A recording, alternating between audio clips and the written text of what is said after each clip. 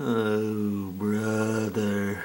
1.35 in the morning and I'm still at mother's house. I cannot believe this.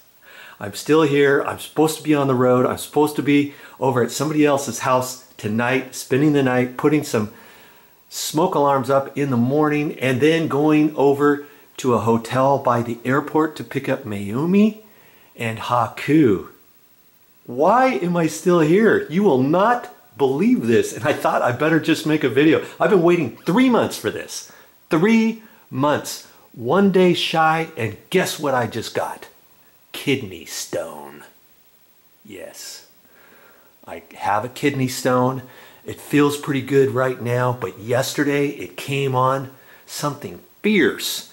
It's like I had to go to the bathroom and I hardly could have any flow whatsoever. And I'm like, what's the deal here? And right back in here is where it started to feel kind of like a like a muscle or something like that. Like maybe I pulled a muscle, but that wasn't it at all. I, I mean, I, I was getting ready to go this afternoon and I thought, do I dare tell mother what's happening? My mother is going to be all upset and nervous. I was thinking about going down to towards San Francisco and dealing with it. I didn't even know what it was. I finally told her about it. We made some phone calls. My cousin, her husband works at the emergency room at a place called Kaiser Permanente. So he called me back and fortunately he told me that it all the symptoms appeared to be a kidney stone. I also called up my sister-in-law. She said the same thing because her sister's husband has had kidney stones before and she said, "Yeah, that's that sounds like what it is. You you've got a low flow. I mean, after I went to the bathroom, it just still felt like, "Oh man, I have to go. I have to go." Get back on the pot.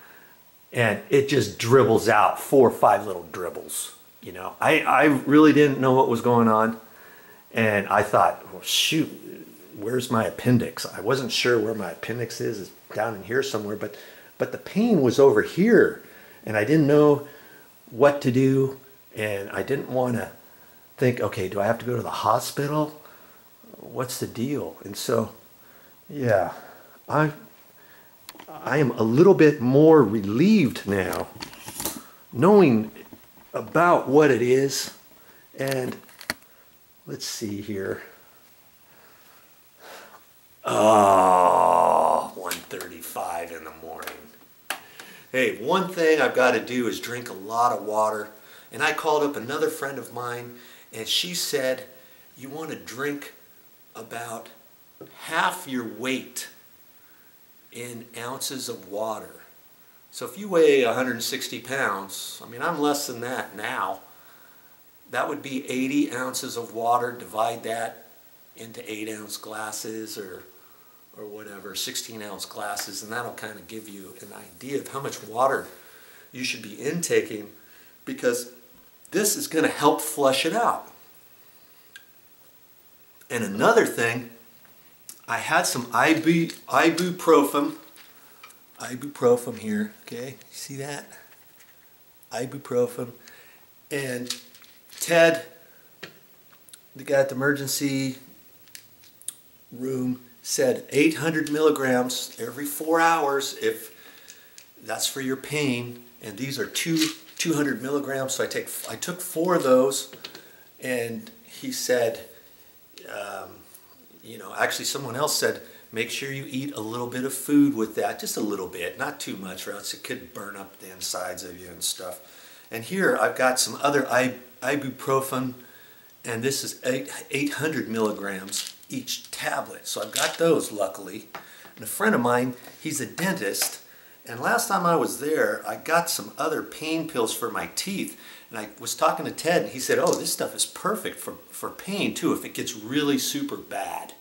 Okay, this stuff is called High Hydroco slash Ace-Tem, and it's 10 he said, you, he said, is it five or 10? I said, it's 10. And he said, okay, that's some more powerful stuff. And this says, take one tablet by mouth every four to six hours. And he said you can take this at the same time you take ibuprofen, 800 milligrams, or usually you can get this over the counter, 200 milligrams. You just take four pills. Okay, and so I've taken that. I've taken that a couple times so far, and at first the pain didn't seem too bad, and then it got worse because as you move around, this kidney stone is trying to go through your your passage, and it's just painful when that happens. So you just kind of have to deal with it.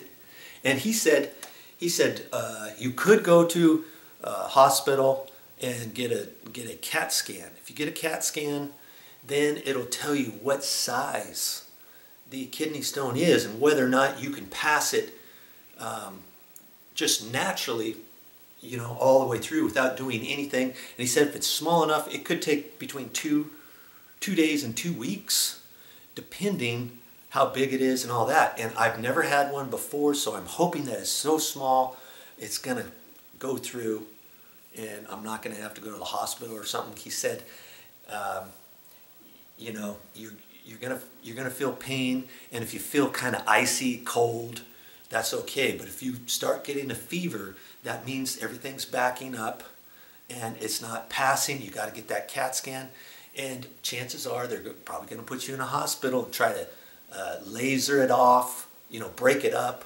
or do some other sort of um, tests and procedures on you you know, to try to break it up so that you can pass it through. Well, I'm not at that stage just yet. Okay, I'm going to try this stuff first for the pain and stuff. I just took a hot bath too. Yeah, 1 1:30 in the morning, 1 o'clock probably. And it felt pretty good. And I actually went to the bathroom after that. I'm going to drink another thing. I don't know. I feel pretty good right now. Okay, but man, they said most guys are wimps when it comes to kidney stones because they can't take pain. Let me tell you, that pain was intense. And I think that's why they made men not to be able to have babies because they could never have a baby. They could never go through what a woman has to go through. Okay? It, it's just unreal what the pain is like. And I'm going to be going to bed here. I'm hoping that everything's going to be okay. But, you know, hey, I'm going. I'm going on my trip and hopefully I don't get worse. Hopefully I can just grin and bear it. And, you know, hey, if, if I start feeling bad, I'll have to stop off the side of the road or something, wait until it passes, take some more pills, and then get back on the road or whatever and hope that it passes naturally. Okay, I'll give you some other updates as I go. But there are some tips for you on if you have that same kind of pain you'll probably know what it is. Kidney stones, yuck.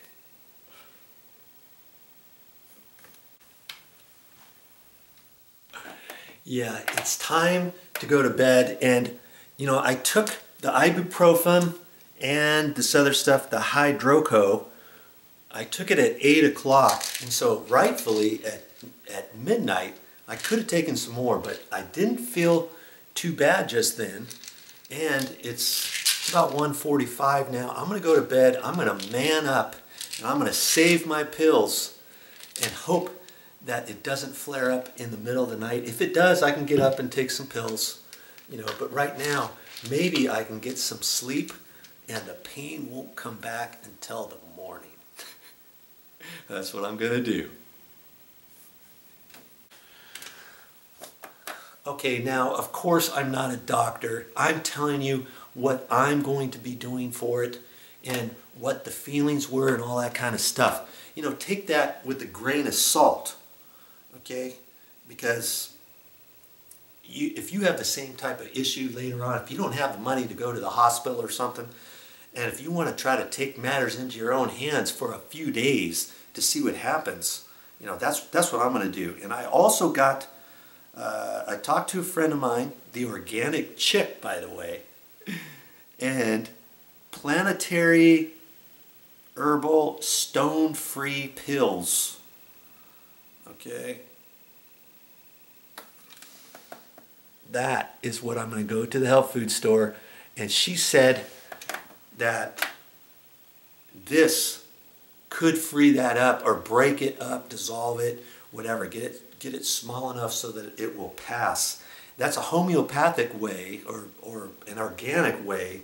And I want to try that. I don't want, I don't want to go be going to the doctor if I don't have to. Okay, you remember, you remember I got that big cut on my, my hand and it blew all, all up and, and I, I did some stuff that the organic chick told me to do and it worked. My hand is just fine. I can hardly see the scar. There's a, there's a slight little scar right there. You see it? Right there. Okay, it could have been really bad had I not done all the stuff that you had recommended me doing. Plus, I didn't want to go to the doctor. I, I didn't want to spend the money. I had to get the job done. I probably should have went and got a tetanus shot. I didn't even do that.